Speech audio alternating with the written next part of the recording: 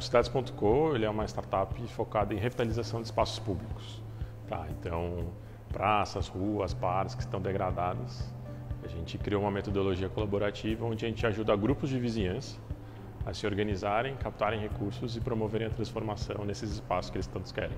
Então, dentro das UDSs, né, existem várias várias possibilidades, várias melhorias que a gente consegue. Então, a gente consegue trabalhar em várias das ODSs, mas a gente tem duas estruturantes.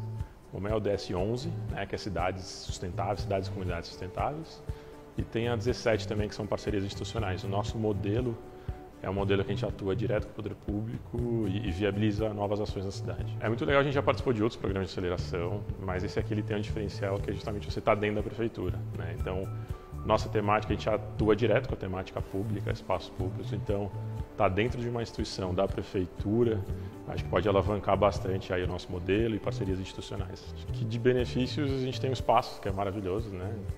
Nessa residência aqui é incrível, que faz a gente se conectar com outras startups.